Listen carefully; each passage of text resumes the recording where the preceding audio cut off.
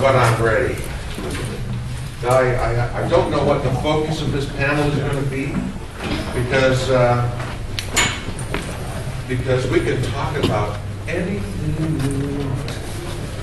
So, I guess, I guess the, uh, the best way to start this, uh, for all of you, is to, I'll tell you a little bit about myself. I'm Garry Chalk. I play the voice of Optimus Prime, or I have played the voice of Optimus Prime, one of four, three of which were Canadian, which is odd, I know, but it's true. Uh, David Kaye, myself, and Peter Cullen are all from Canada, and, and the only one who was not uh, uh, Canadian was uh, Neil Kaplan, who did one of the uh, prelay ones, and that was, uh, he's from San Francisco, I think, or he lives in San Francisco.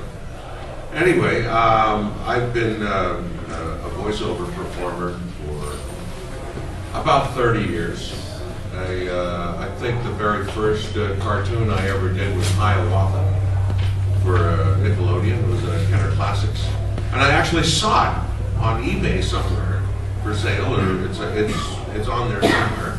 But uh, that was the very first cartoon I did, and I, and I went, wow, I, I kind of like this, uh, this career. It's kind of fun. You know, I had no idea what it was about.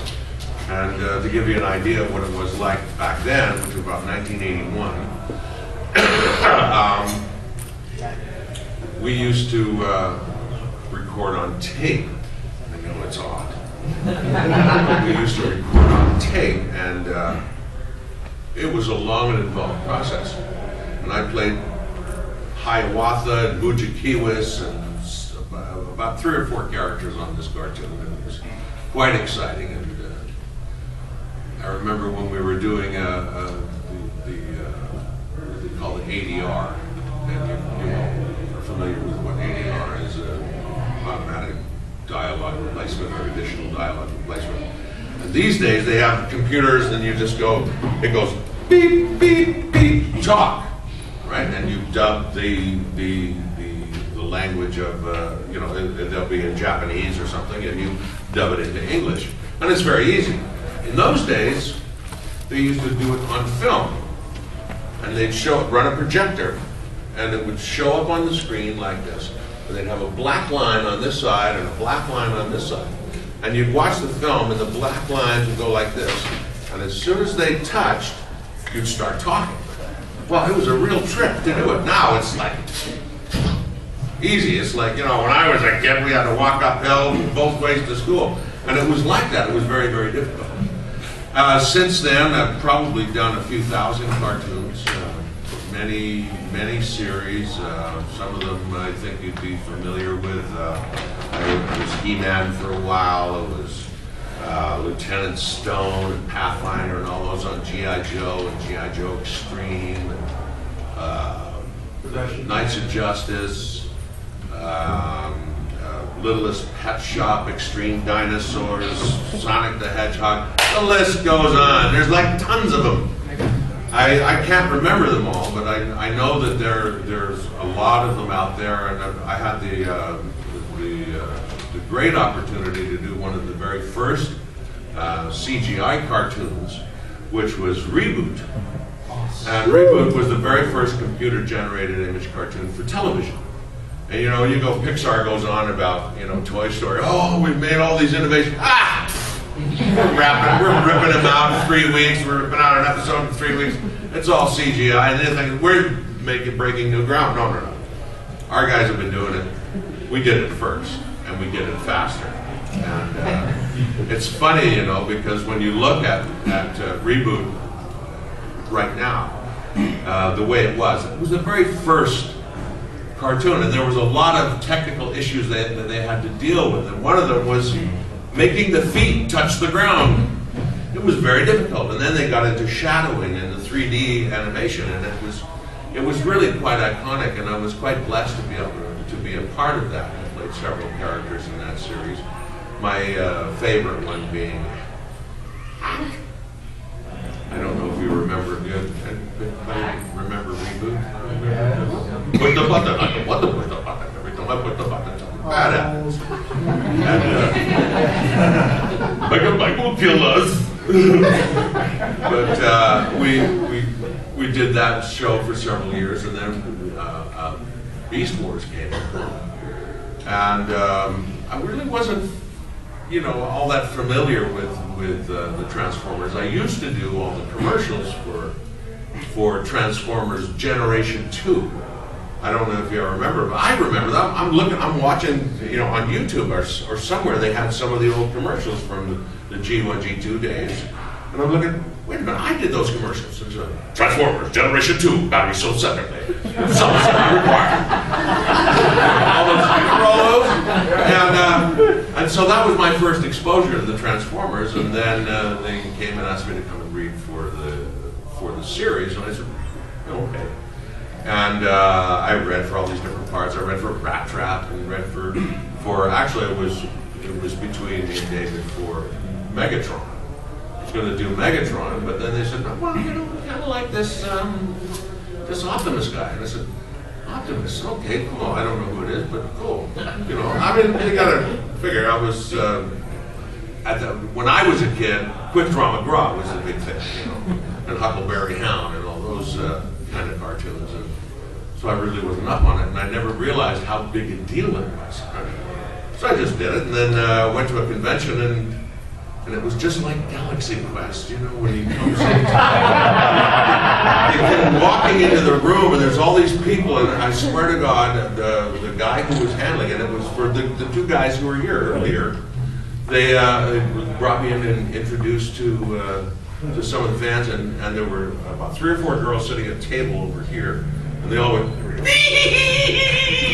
went what's the matter? it was kind of weird. But then when I saw Galaxy Quest, I went, hey, wait a minute. They're the same girls.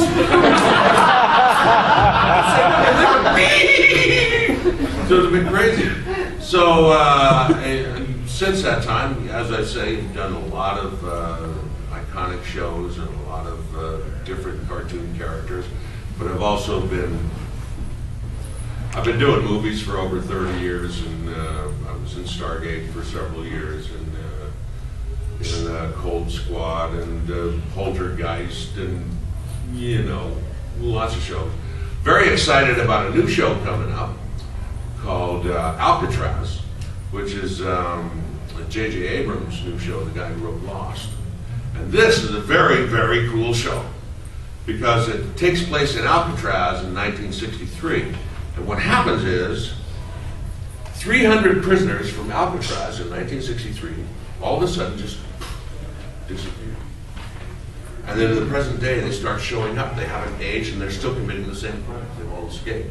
So there's some weird plot. We don't know what it is yet, but uh, it's very cool. Sam Neill's in it, and Jonny Coyne is in it, and a bunch of uh, different uh, actors and actresses. Quite, and Jorge the guy who was the, the, the fat guy in, in Lost. Jorge Rodriguez or something, I think that's his name. But he's in it, he plays the doctor. It's, it's very cool. So, um, so it's been quite a quite a career in the last uh, in the last 30 or so years, and uh, and uh, it's that that's brought me here today to say hi to all of you people. And um, I guess the, the best way to start this panel to, to do something is, what is it that you want? What do you want to get out of this panel? What is, uh, what is it that you're most interested in? What would you like to know? I think I can uh, answer almost any question except was the question? Oh yeah, someone asked me in episode seven of the first season of Beast Wars, you had a dialogue. It was a very touching scene between you and Rat Trap, or no, you and and uh, and uh, Cheetor, and and he had said something, and you had said, "But that's okay, Cheetor." And I, I just want to know what was going through your head.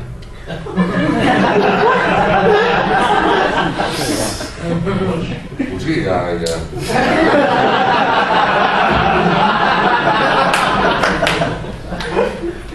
Give me a minute. You know? because I, I had no idea. I mean, good God, what, what the hell are you gonna do? I mean, you come up with a question, and it just comes out from nowhere. And, uh, you know, I have a hard time remembering what happened last week, much, much less what happened a decade ago. So. Anyway, um, how, how about we kick it off and uh, ask me a question?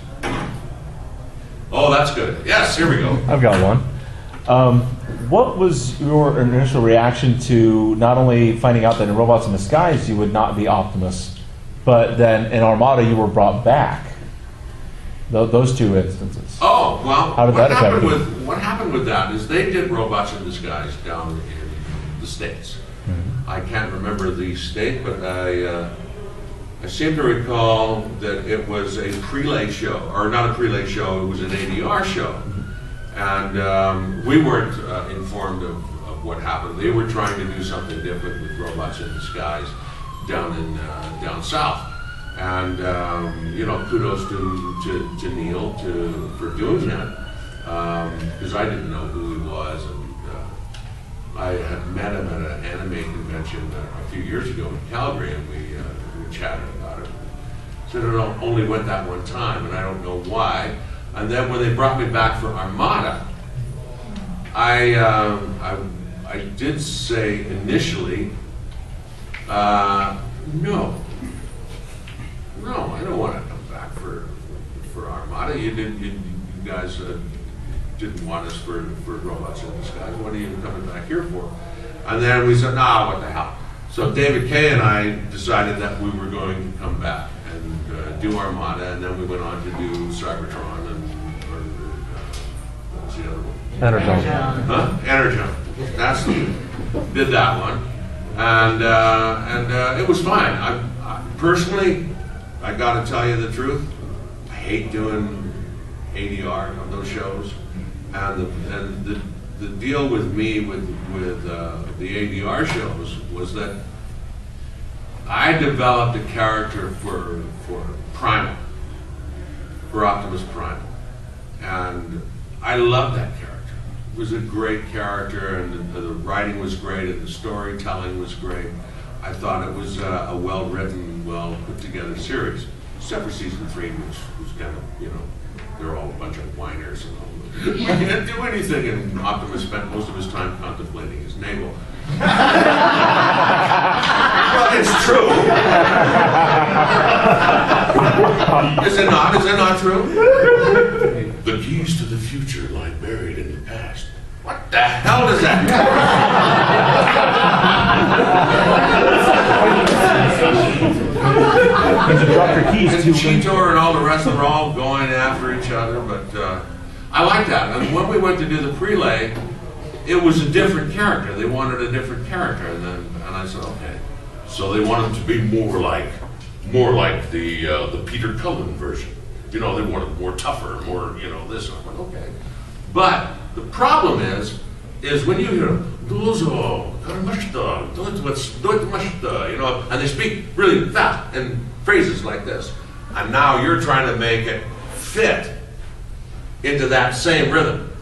Cybertron, or, or Jetfire, Ironhide, this way, let's go, right away. You know, it was hard to to make a character and create a character and also fit it within those tight guidelines uh, of the uh, of the ADR. And so what you got was sort of fifty percent. You didn't get hundred percent because I like my I have my own rhythms and my own uh, you know thought processes. And when you hear the beep beep beep, it's just fit the words in the space. You know, and a lot of people didn't like it. I uh, I found. Um, the, because the original creator of, of G1, you know, Peter Cullen, when, he, when Peter Cullen did G1, it was pre-lit. So he got to use his rhythms and his uh, acting beats. I had to make it fit in that, and uh, it wasn't a it wasn't a good process, not nearly as good as uh, as Primal. So that that's my my reaction to that. Uh, it wasn't really a bad a bad deal. I mean, I'd already moved on to a lot of other different shows. And uh, we just, you know, live and learn. And, uh, uh, next question. Yes, sir. What was the character everybody on, when you made Beast Wars, everybody seemed to mutually hate? Which one? What was the most hated character between voice actors on Beast Wars? On Beast Wars? The most hated character. I mean, like the character nobody really liked, even the voice actor did them possibly. Oh, you mean like personally? I mean, like, as in, oh, this trans, this is just the most annoying voice or transformer to do the series. Oh, you mean like Waspinator?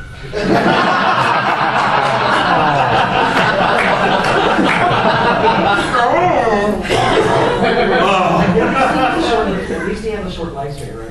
oh no, Waspinator lives on forever. Each episode, you only do so much of it, Yeah. Problem solved. Oh, it don't feel so good. I can't even do it, but I don't know how he does it. It's a, it's a weird voice, but that was uh, that was one voice that used to drive me out of my mind. But it's the most popular voice ever. But uh, I couldn't listen to it for a long, long time. I, I was going, I'm going to kill you. I'm going to kill you. That's probably why so much then. Huh? That's probably why he died every time. He died all the time, but, but he still kept coming back for more. poor, poor guy. Um, okay, the, the, that, that I thought was probably the most annoying voice for me personally. Everybody loves Watchmen. I mean, I love him too, but uh, that's the one that drove me to the, the craziest. My favorite character was uh, uh, Rampage. Is it Rampage or Ravage? Ravage was a. I shall be queen. Yes, my queen. What's that? Inferno. Inferno. Is that what his name was? Yes. Inferno. Yeah. Yes, my queen. Jimmy Byrnes. Uh, Jim Byrnes played that character. And uh, Jim Byrnes is, uh, well, his hometown is around here somewhere, St. Louis, Missouri. And, um, and he's a wonderful blues man and a, a great character. But of all the characters, uh, I love Cheetor. I love Rat Trap. Rat Trap was a great character. Rhinox. Um, what's Silverbolt? That was another one that I quite liked. And uh, Tarantulas and Terrorsaur. And, uh, they were they were all great characters.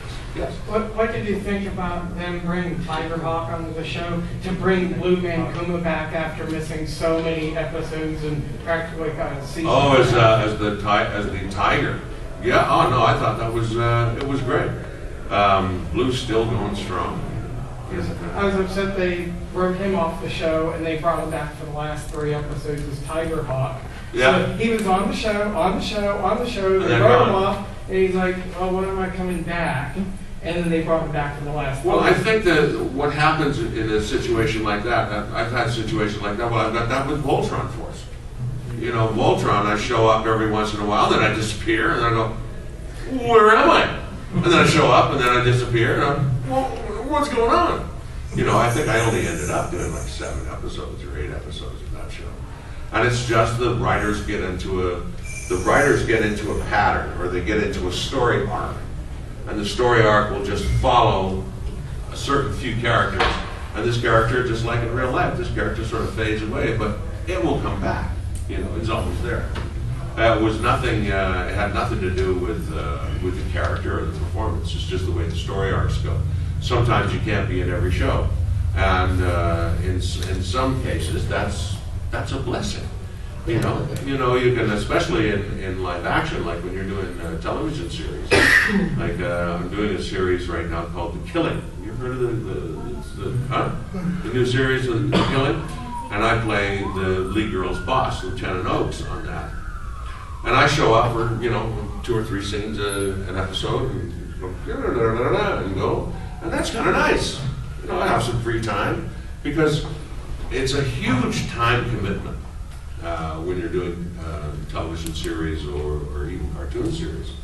You're there every day, 12, 14 hours a day. And that uh, can be exhausting after a while. I mean, it's good, it's good money and everything. Still, you get tired, you pay the price. And uh, there was a time, uh, um, Scotty can tell you, and uh, Ian and a few of the others, when we were like the only voice guys around, that we worked literally uh, seven days a week, every single day, doing two shows a day, different series. like we had like seven, eight different series going. And do that for several months, and you turn into an idiot. You know, you're just like, what? What is it? I can't do this anymore. It's just like, it's very tiring. I don't know if you've ever tried to do voiceover, any voiceover stuff, but go and do that eight hours a day. And uh, it's, it's exhausting and it's hard on your voice. And we were doing it seven days a week. So uh, now it's kind of nice, you know, you work a little bit, take some time off. Yes? When you were doing that many, what did you, were there exercises or something you did to keep your voice in check so you didn't lose it? Is there certain Yeah. precautions? Um, the thing about the thing about your voice is you can burn your voice out in ten minutes if you do it wrong. And what a lot of people do is they try and concentrate their voices right up here in the throat and in their neck. And what happens is your vocal cords get strained. And if you try and like if I tried to talk like this all day long, I'm done. It's, uh, it's, the same with, uh, you know, those, those guys who do that type of voice all day long, do that, and your voice is gone. But you have to bring it from here. You have to support it, you have to exercise it, and, uh, and there are lots of warm-up exercises. Basically, it's keeping relaxed. The more tense you get, the more tightened up you get up here and in here, the more difficult it is to, uh, to maintain the vo- good voice quality.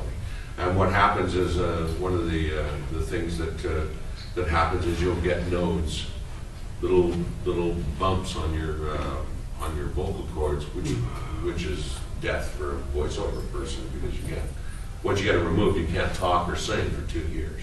Also sing every single day.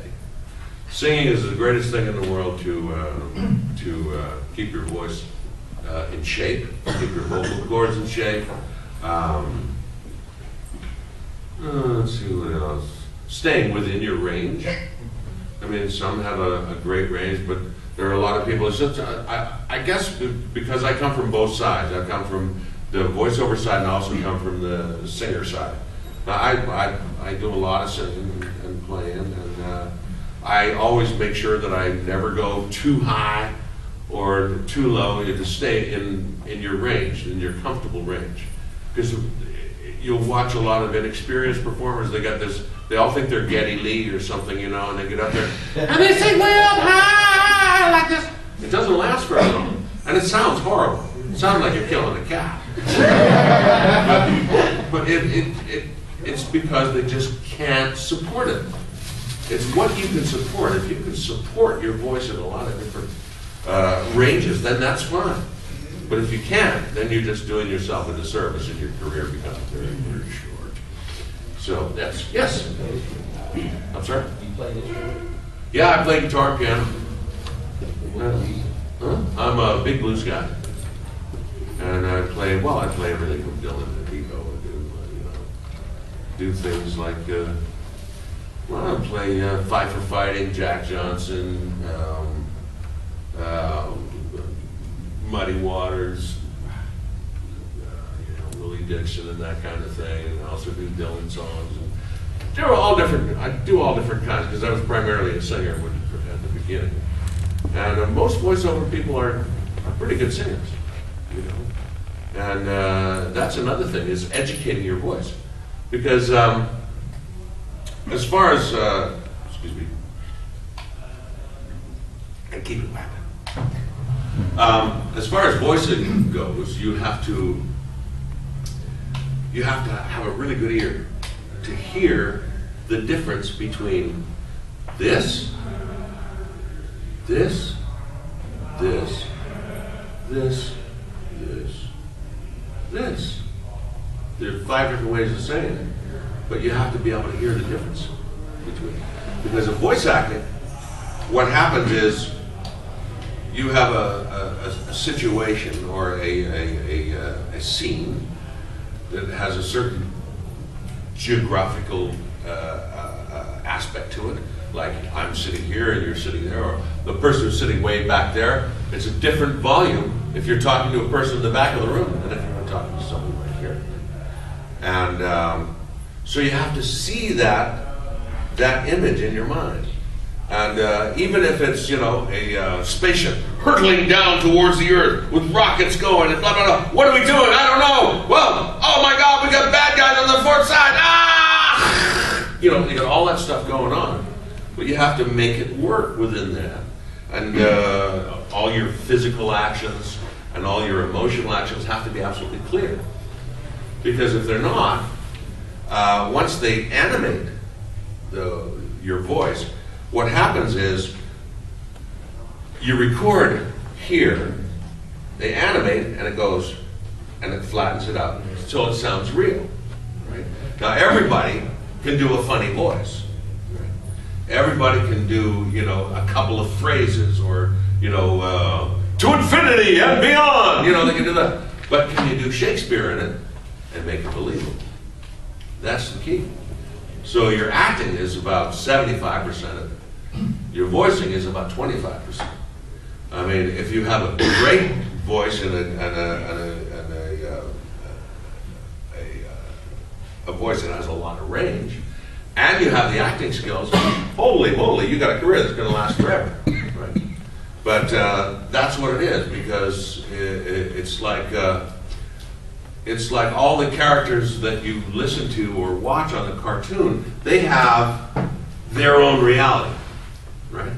It's an unreal situation, like you know, like Ren and Stimpy. Oh, Ren! Oh, Ren! What are we gonna do? We're gonna take it for the wind. You know, and Pinky and the Brain and all those. But it's real for them. And in order for, for, for us as the audience to care about what they're doing, it has to be real for us too. So if you hear a lie, or you hear someone who is not doing a very good job, you go, meh, sounds kind of lame. You know, I'm not really in there, not really caring about this. I'm not going to watch it anymore. Because it's the characters that draw you in.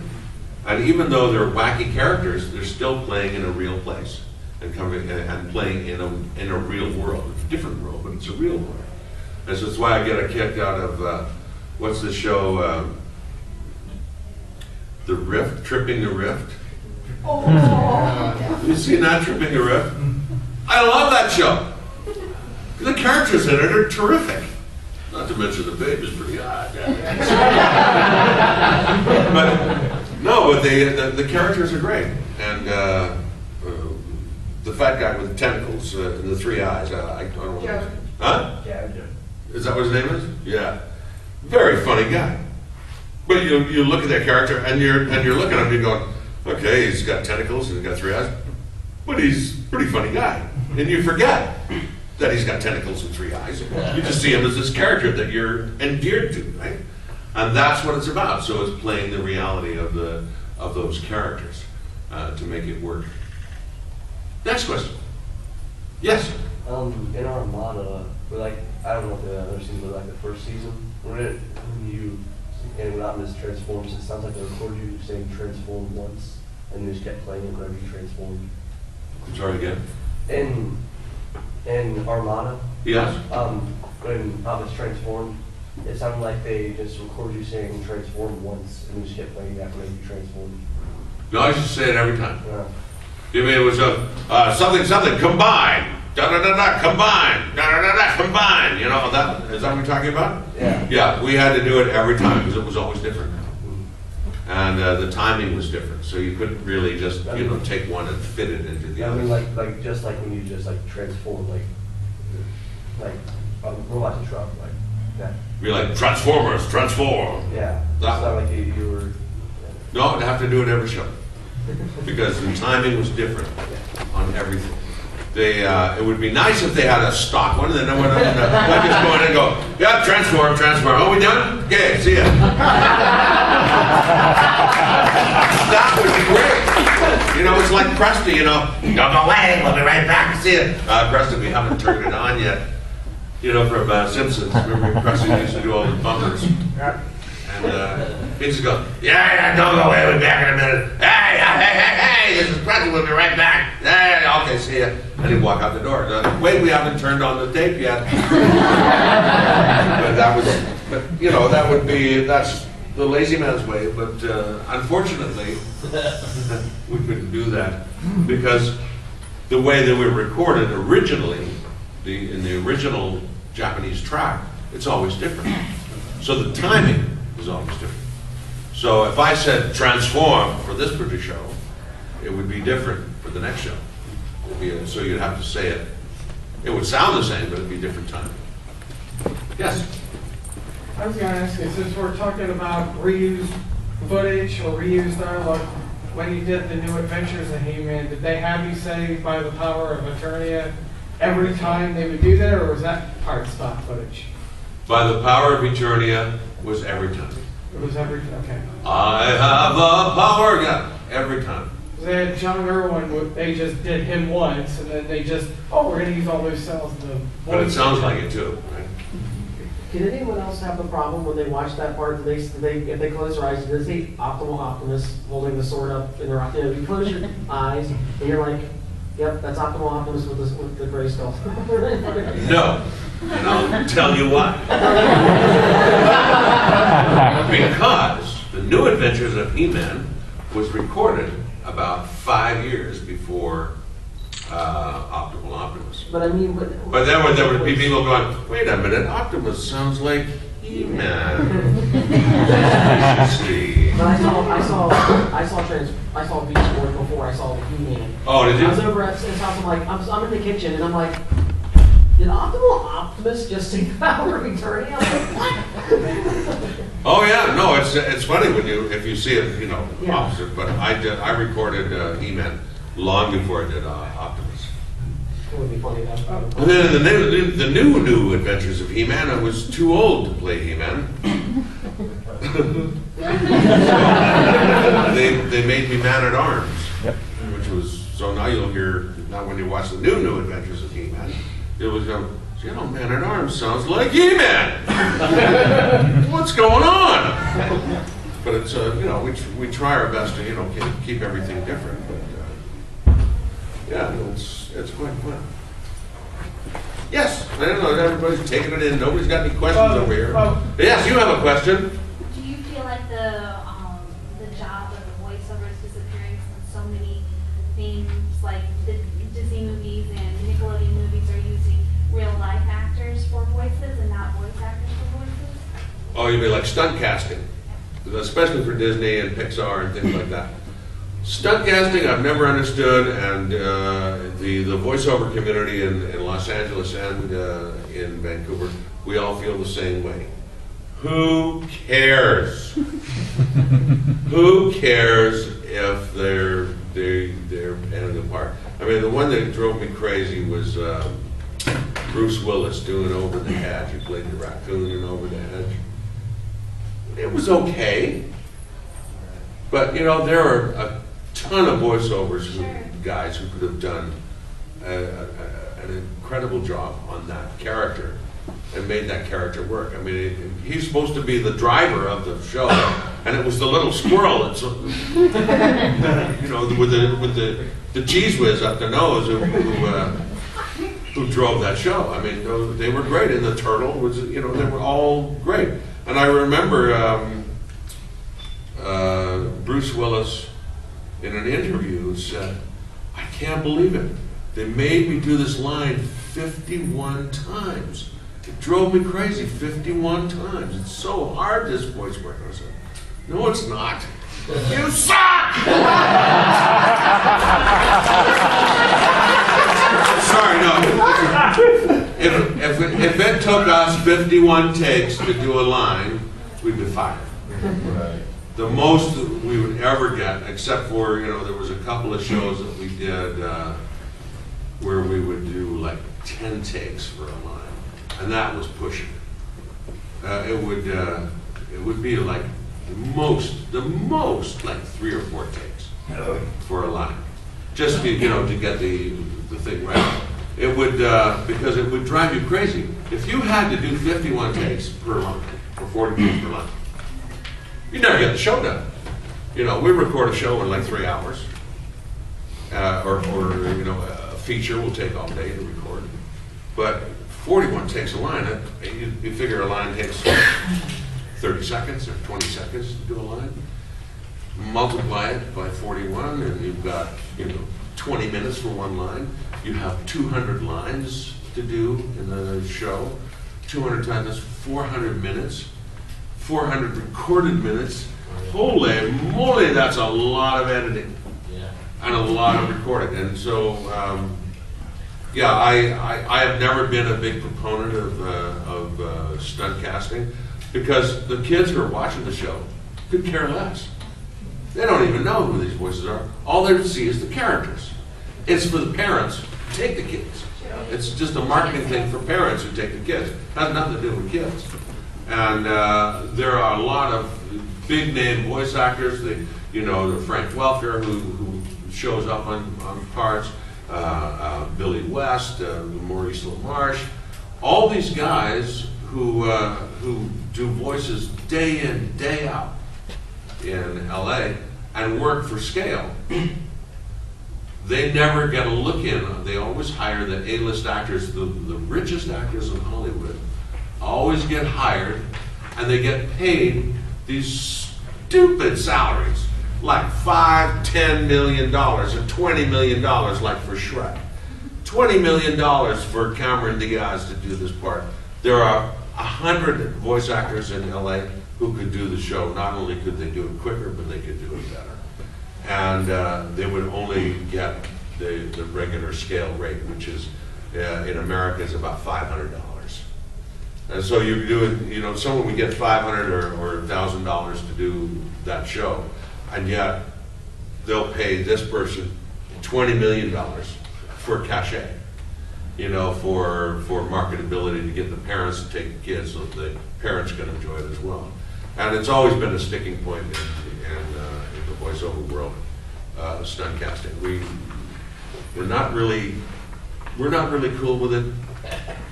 We hate it. Because we can't get it. I worked my whole life in voiceover, thousands of cartoons, and this person who's already richer than God is gonna make twenty million dollars in one shot.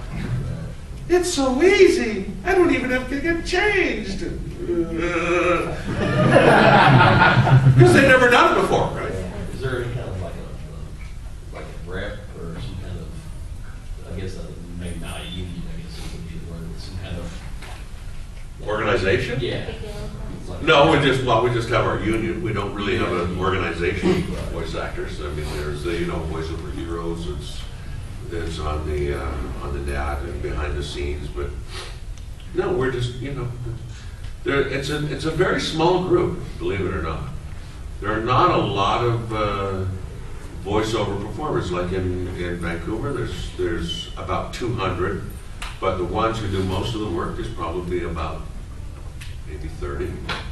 In Los Angeles, there's about 3,000, and there's about uh, less than 200, probably about 50 or 60, who do most of the animation that you see. I mean, if you, if you actually take a look and just go through the credits, you'll see, you know, the, uh, you know, the Yardley Smiths, the Frank Welkers, the Peter Cullens, the, uh, uh, who else is in there? Um, Blu, you know, uh, all these different guys and guys and gals, and there's probably about 50 of them that you will see that will show up in absolutely every cartoon that's ever produced. Because it's a, it's a skill that um, it's hard to acquire.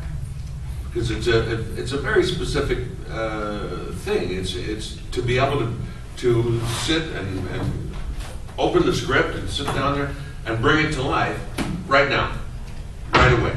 There's no, uh, there's no rehearsal time, there's no, you know, go home and study it and, and get all the, the, uh, the acting beats and the, and the timing. It's right now.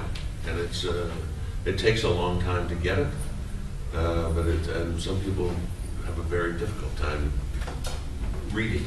You gotta be a really good reader. Anyway, next, yes. Is there uh, any piece of work you've done that you wish you could have redone it when you hear it later? And if so, was there one that kind of sticks out to you? If there was a, If, if you heard something that you've done a while ago and you, you wish you could redo it.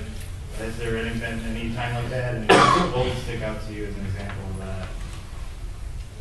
Hiawatha, I want. because it was my very first one. And when I listen to it, I go, cringe a little bit.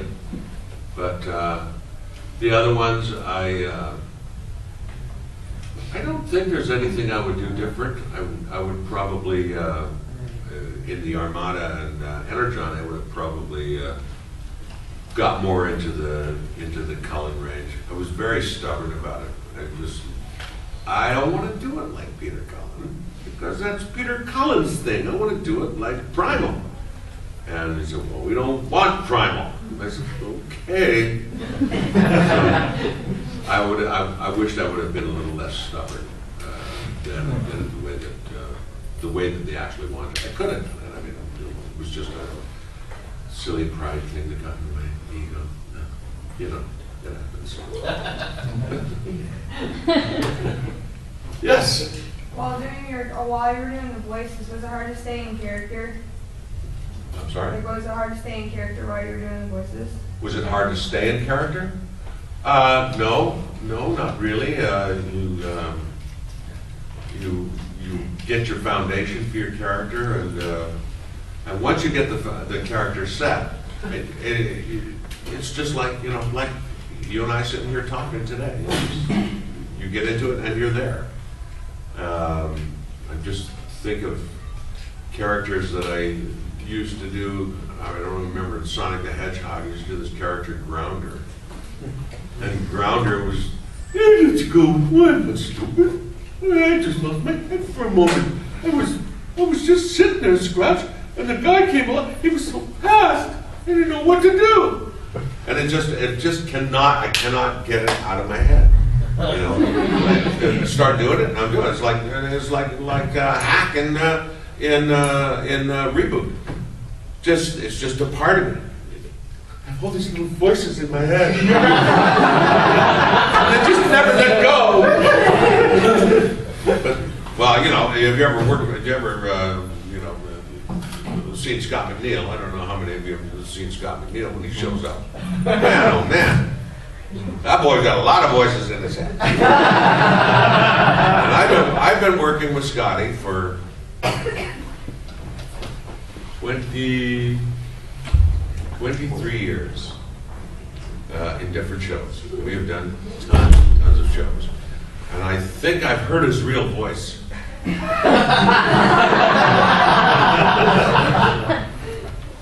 times? But it's hard to get because, you know, because in this kind of a situation, you're always on, you know, you're always working and, and, uh, and playing it up and at work, of course, when we're at work, we're doing our voices, so. Uh, but, uh, every once in a while, when you get into it, you know, there's, we're just sitting there having lunch and then I'll go, oh, wait, that's what you sound like! That's who you are! Oh, cool! Yeah, no, I, I love Scott. He's he's a wonderful guy, wonderful uh, actor. Yes, sir. Can I ask, uh, as a voice actor, you know, if it's an actor you see on TV or in a movie all the time, you know, you're recognized instantly when they're walking around. But if you go into a restaurant some, somewhere like that, or a grocery store, and you use your voice, does anybody ever pick up on that? Oh, yeah. Yeah? I've had that happen. Well, actually, several times I've had it. With, what's happened is uh, I sat in a restaurant. Where the hell was I?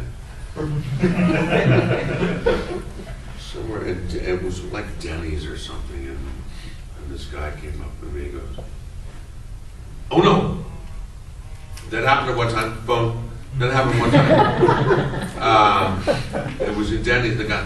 I know that voice. I've heard you before. You are.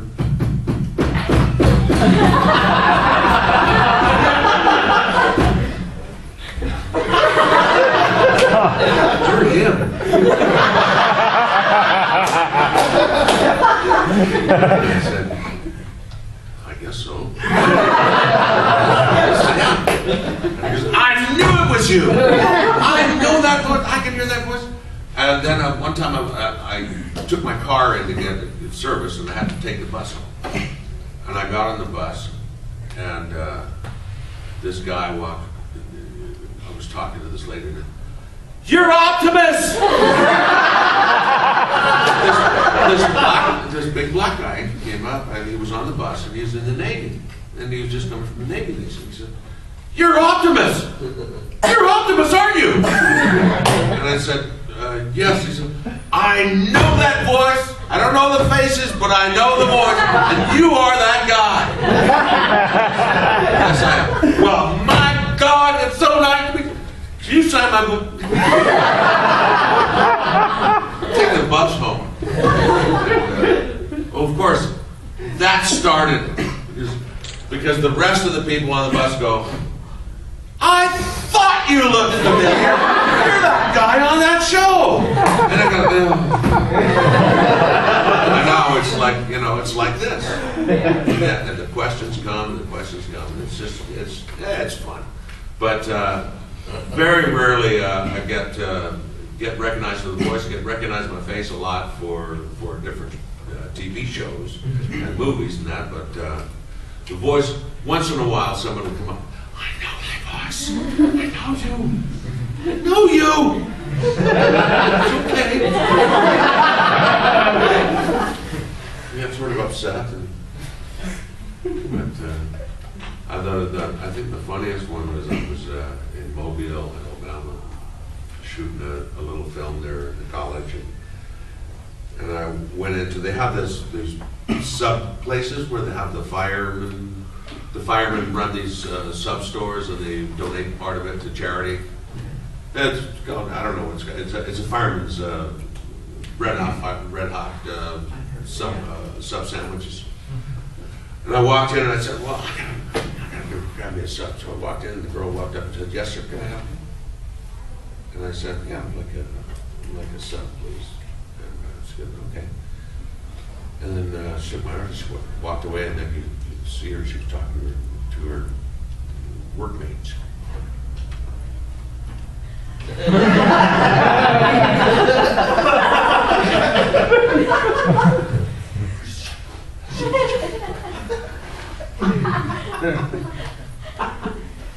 Walk over. Are you that fella in the movies? And I said, Yes. I knew it was you. I won't go say nothing, but my friend and I, we have a bet. She got some room over there. She said that she was in the movie. Now, she said, that's not the same guy. Why is he doing it on Mobile? What the hell is he doing at Mobile? so you are that guy in that movie. I knew it was you. I won't go say nothing, but I won the bet. Thank you very much. and then the other girl, she's standing at the side and she goes,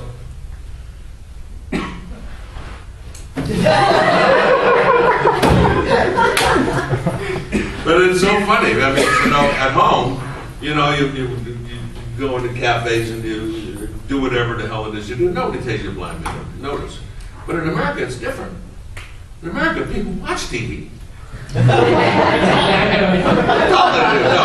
watch TV because it, it, it seems to happen more here. I mean, I used to go to Las Vegas. The the, uh, the the girls who carry out the drinks and the and the change girls, they all seem to watch Lifetime television. I was like the king of Lifetime. I had like 50 movies on Lifetime, and they all come up and they say, "Ah, ah, "You're in Stand Against Fear. You're in this. You're in that." I said, "I've seen you all the time on Lifetime. Yeah, man, every time I turn on Lifetime, there you are."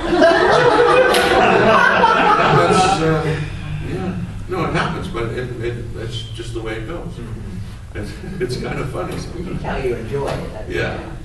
Anything else? Yes. How was it working with Richard Dean Anderson in SG1? Oh, it's a struggle.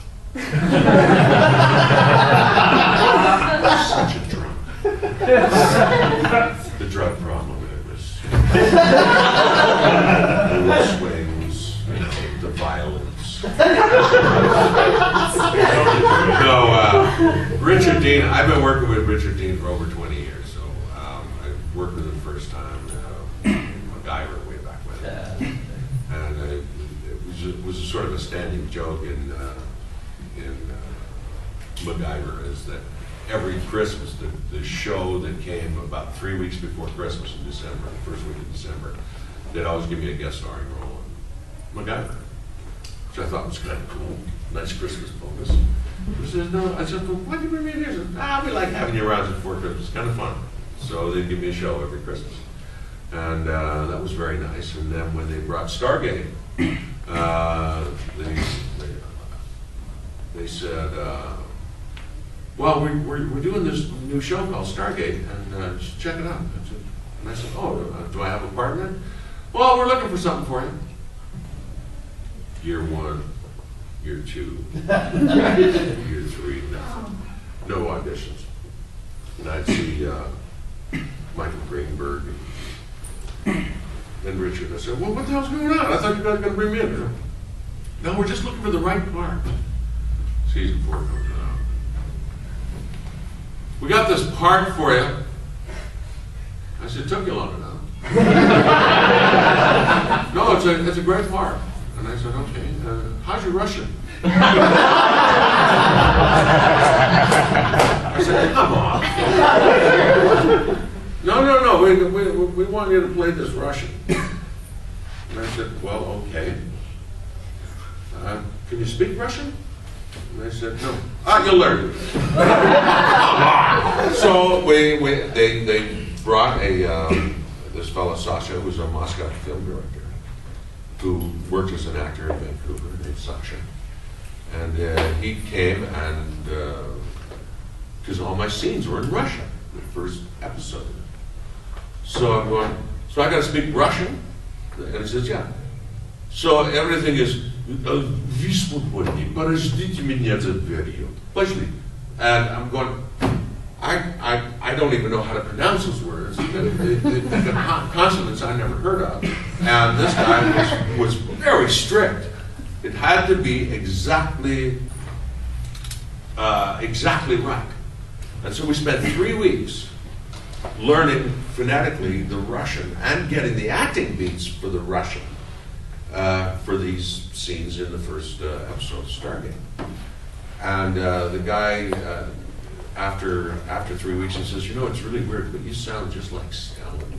Said? He said, "You sound like like the real Stalin, like Joseph Stalin. You sound just like him. You have the same Georgian accent. You have the same vocal quality.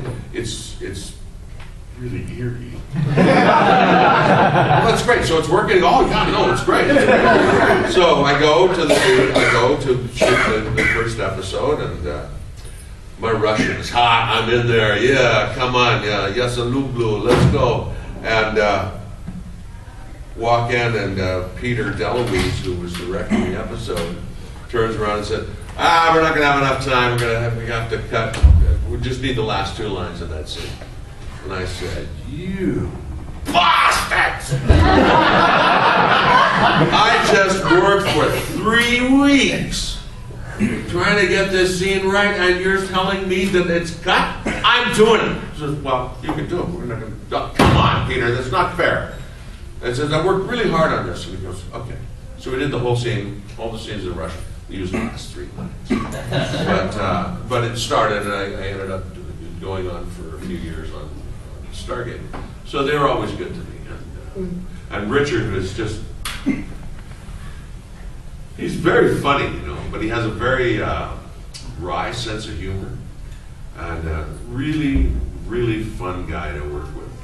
Uh, when you first get there, you, you, you wonder, you go, okay, what are we doing? But, you know, when you see it on screen, it's working.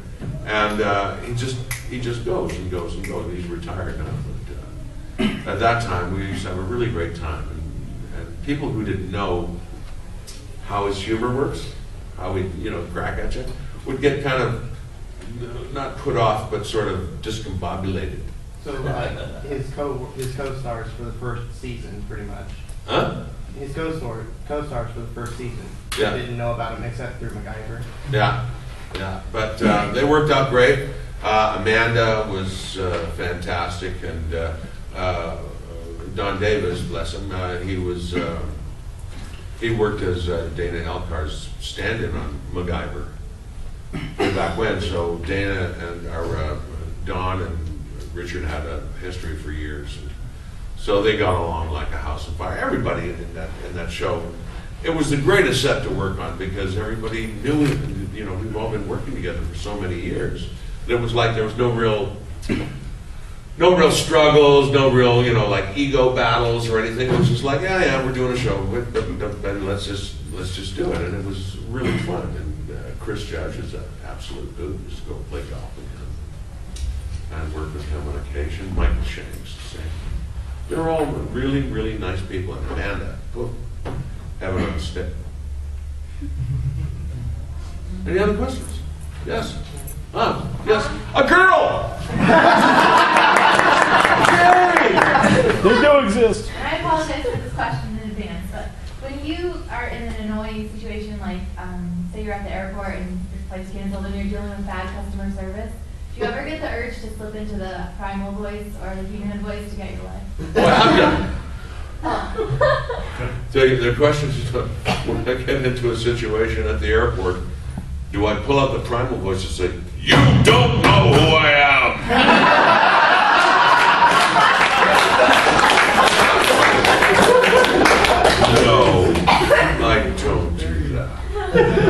Pretty good. Um, Sometimes it just gets a little crazy.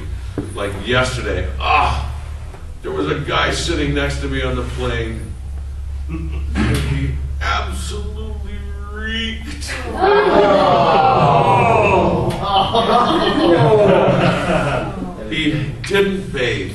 He looked, it smelled like he'd been on the plane for a couple of days. You know, it was, and it was hot, and I'm, I'm sitting there going, oh, please, please turn the fan, turn the fan. I'll be good, I'll be good, I won't say anything, I won't say anything. I said, I paid an extra forty-one dollars for this. I think, for some reason, for some unknown reason, because my elbow was touching his elbow, he didn't like it. So he got up and moved to another seat. Man, I'm so sorry. I'm so sorry. No, I never, uh, I, the only time I've ever gotten, you know, like that is I, uh, I was on a plane flying to Las Vegas, and the plane was full. And there was a woman, no offense, but there was this woman, she must have weighed about four hundred pounds. Three hundred and eighty, somewhere around there. But the seats on, on those little planes are really small. And her stomach was right here against the seat ahead. And she was squished, she couldn't get in. You had to lift up the bar and then, and she had to slide and she couldn't walk down the aisle, she had to go down sideways down the aisle. Well, my seat is right here. And her butt was on this half of my seat. I mean, no, I, I, I can't say anything bad about it, but this, this half of my seat. So I only had half a seat to sit on. But there was a, a bulkhead, right? So, Like a bulkhead. So there was two seats and an empty space, and I guess they put luggage or something like that there. So I sat on the side of my seat like this, facing the, uh, the fuselage wall. And, uh, this little fella comes up to me and he goes, Yeah. Excuse me, sir, you cannot sit sideways on the seat. And I said, well, I'm really, and I, and I pulled him to the side, I said, look, Frank."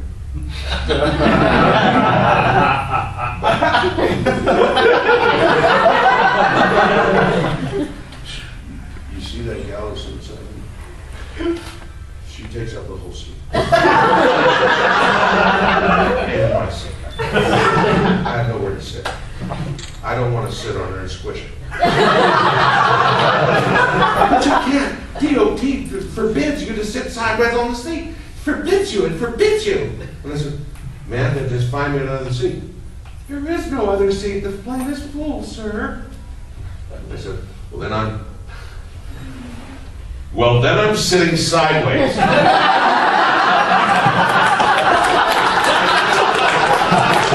Too freaking bad. And it was, he, I don't know if he got in trouble, but he was really upset. Like he was upset. He was a little, uh, you know, the flight attendant guy, and he was really upset because I was sitting sideways. Mind you, The girl beside me was completely oblivious. no, she doesn't. she didn't look left or right or nothing. She just, and, and it was. I can't describe it. It was a hill of flesh. she, she sat in there just. like Jabba the Hutt. can't mean. It can't be, you know, it's not her fault. I mean, uh, I don't know.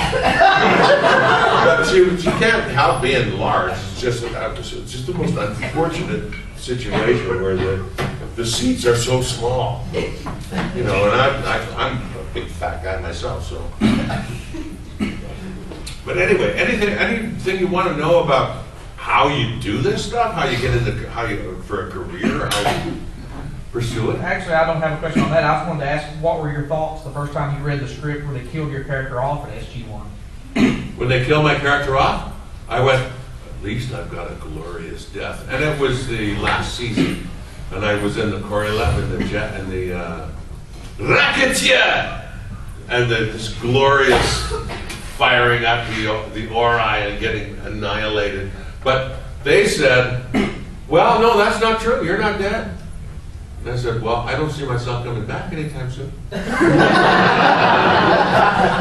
he said, no, you may have escaped with Brad in the life pods, because there were several life pods escaped.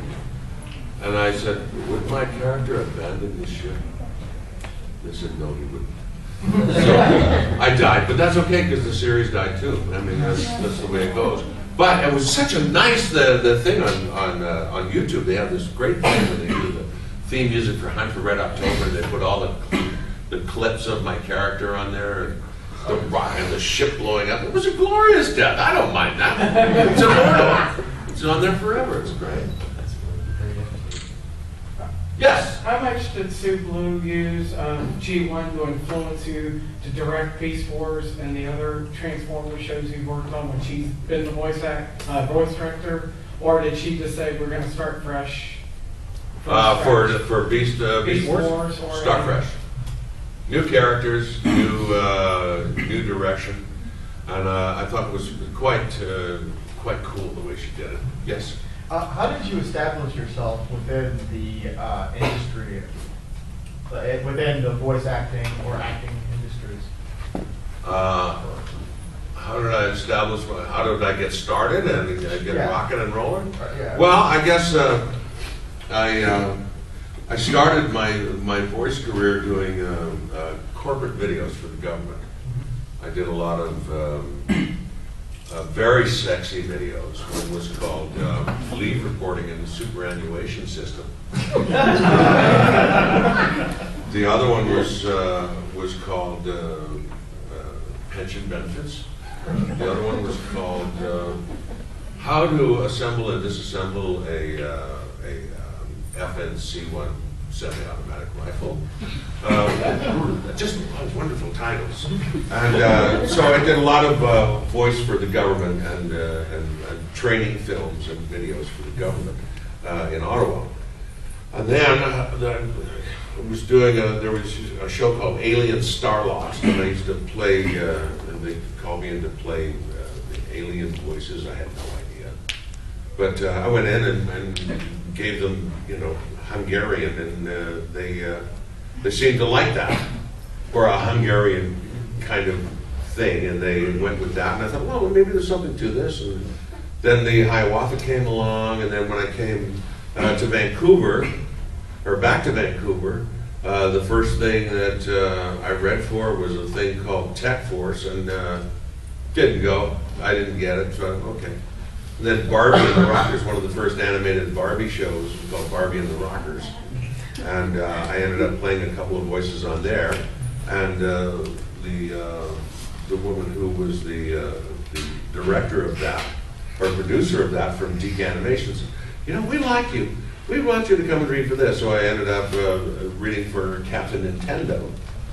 And I did Captain Nintendo, and um, it seemed like every time I did a show, they would say, "Well, we have this other show." So we did Captain Nintendo and uh, and Kissyfur and, uh, and uh, Dream Patrol and He-Man and G.I. Joe and all these other shows just kept coming from DIC and, and uh, they, uh, they just liked what I did, I guess. But uh, that's what I did, and I put a voiceover tape together. And this is what, you know, been talking to my friend Candace over here, who's a very talented artist. Uh, is also uh, an aspiring voice artist and wants to put that voice tape together, still hasn't done it yet, really.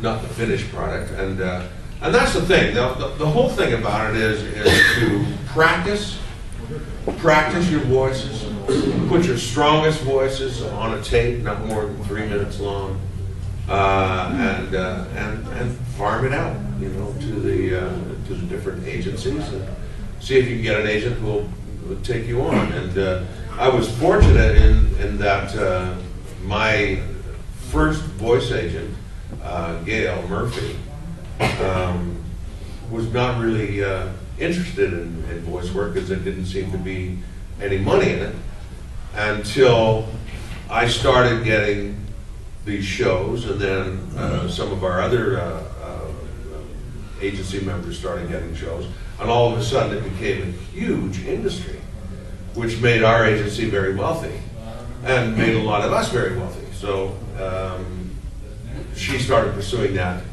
on a big way and, and farming our tapes out to, to internationally and, uh, and marketing our, our people international, internationally. And we started to get uh, shows from England and from France and from uh, Australia and from uh, the United States and Canada. It's not just the United States, go all over the place. I mean, uh, Jean Chalopin, did uh, a lot of the, like Tintin and things like that, and uh, Asterix and Obelix, you know, we did all those shows.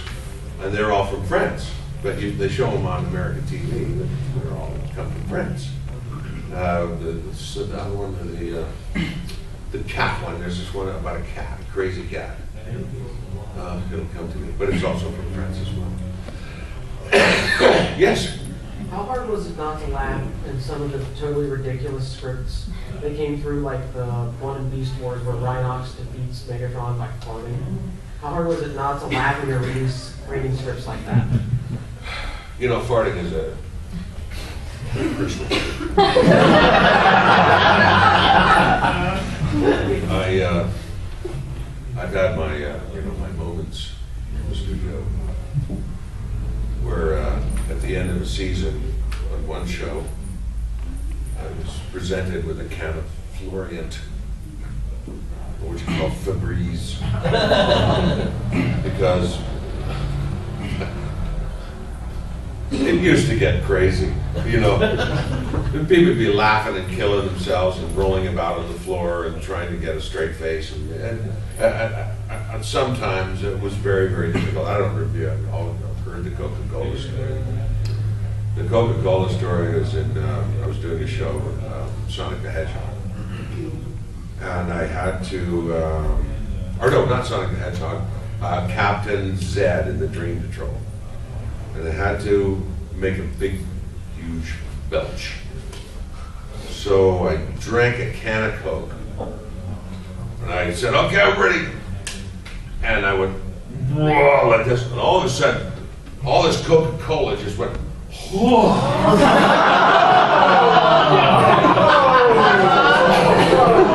wait, wait, wait, wait. It was like it was wrapped in an amniotic sac. And it made this ball, and it hit my script, and I went, and never left a mark on my script. And Phil Hayes, who was playing one of the characters, looks over and he goes, Oh my God, oh my God, oh my God. Ian Corlett is going, Holy crap, holy crap, holy crap. The assistant in the office is falling on the floor, and all you can hear is, Ah! Ah! They're all howling. Right? And I went, Wow, that was amazing.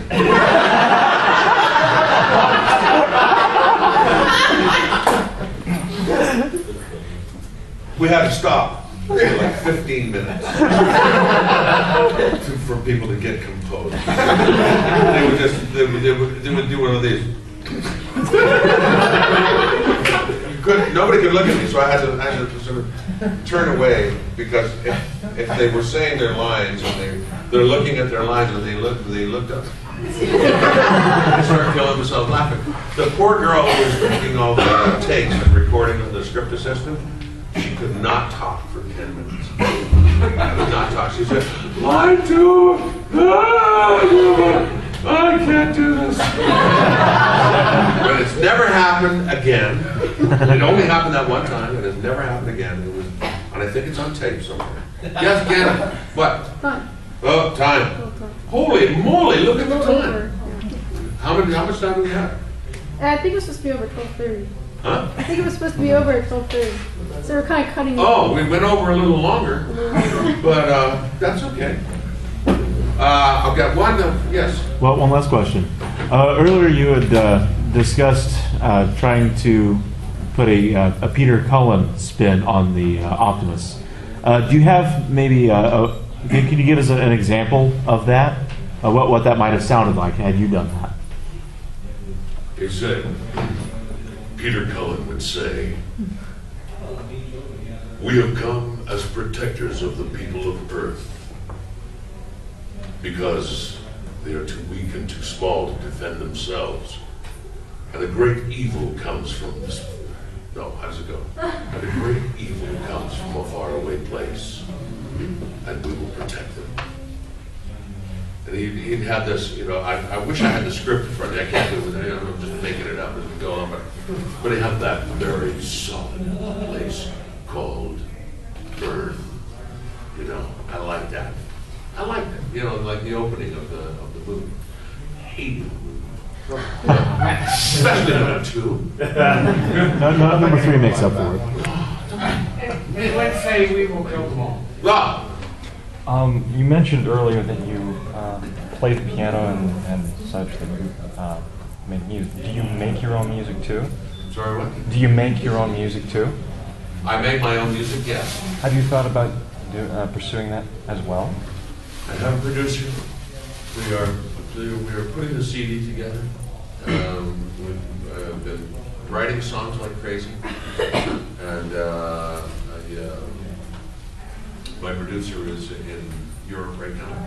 He's coming back in a couple of weeks, and then we're going to sit down and we're going to, we're going to uh, plan a CD and an album and uh, get it up and sell. People seem to like it.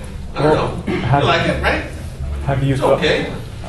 Have you thought And uh, people seem to really enjoy it, so uh, I've had so many people saying, well, you've got to, you've got to put the CD together, and the the music people are saying, put the CD together, and I've got a lot of musician friends back who said, hey, I'll put my time in. So I said, okay. So we're gonna it out this year. Has that trickled in with your voice acting? Like you wanted to do both music and voice on a show? Oh, no, I, I've I've been doing music and voice for, for a long time. Put on the same But I haven't uh, really pursued the, the commercial end of music Ah. For decades because my film and voice stuff was, it, it just takes up all my time. And now I have a little bit more time, so I've been playing around with doing the music. I'm liking it, you know? It feels- liking it. You meet a whole lot of different people. That's some really, really wonderful, wonderful singers and wonderful musicians. I just uh, ran into, uh, a week before last, uh, Sam Neill. You know Sam Neill from the, from the, what's that, Jurassic Park? Well, his daughter, Michael, is a Japanese, Australian gal. She's a tremendous singer and songwriter, and uh, she came out with us uh, a couple of times to some venues to, to play. And, uh, and my friend Don Alder, you, you met Don, and Don Alder came, uh, he's like the best acoustic guitar player in the world. He's amazing. You Look at look him up on YouTube. And uh, he uh, played a couple of tunes with her. Just fantastic. Just a, a, amazing singer. And, uh, and I find that, you know, the more different things that I do, the more different people that I meet. And uh, it's a whole, uh, it's a whole other world, the music world, you know, from, from acting and voicing. There's a lot of singers who do voices, but there's not a lot of musicians, right? And now I'm meeting a lot of musicians and playing with a lot of musicians and uh, having a great time doing that. So I'm gonna, yeah, I'll probably be done by this year. Anyway, I got, I think I got time for one more question, and then it's time for rock and roll. Maybe, uh, I think we've got something else going on. Yes? Uh, The gentleman before asked you about your, your, your um, career, like working with other voice actors and your experiences with them. Uh, I was wondering if you had any stories about Jaleel White, the voice of Sonic the Hedgehog. Jaleel, you know, I've got to tell you something. Never met him. Okay. Figured- Never met I him, figured- never saw him.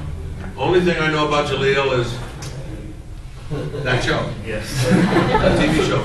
Because he recorded, him and Tails Uh, recorded in Los Angeles, and everybody else recorded up in Vancouver. So we never really got to meet him or, or talk to him or anything. It was, uh, it was quite bizarre, because I'd like to have met him, because he's a totally different guy from what I've heard from the guys. It's a totally different guy from the guy you see on the TV. You, you wouldn't recognize him on the street. If you, if you were talking to him, you wouldn't realize, are you Jaleel White? No. No. You kind of look like him. No, no, no, that's, uh, that's another guy. Unless you walk around with blue spiky hair, that give it away maybe. Huh? Maybe, maybe start walking around with blue spiky hair, that give it away. No, it didn't work. Anyway, everybody, thank you very much.